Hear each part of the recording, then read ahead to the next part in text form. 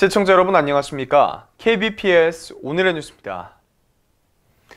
구리시와 구리소방서는 지난 31일 갈수록 대형화되어가는 산불 초기 진화를 위한 산불 진화 기계화 시스템 전달식을 가졌습니다.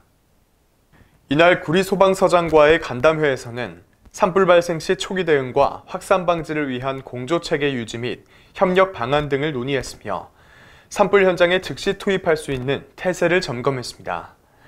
산불 진화 기계화 시스템은 신속하게 용수를 공급해 산불을 빠르게 진화할 수 있는 지상 산불 진화 장비 일체로 소방차의 구조에 맞는 다양한 이동용 장비들로 구성됐습니다. 안승남 시장은 산불이 발생하면 인명피해와 함께 소중한 살림이 훼손되므로 소방서와의 긴밀한 협조 체계가 필요하다며 산불 예방과 산불 진화를 위한 만반의 준비 태세를 갖추고 대비하겠다고 말했습니다.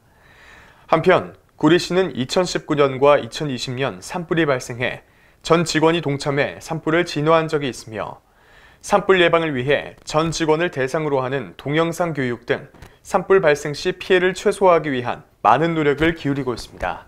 KBPS 이규석입니다.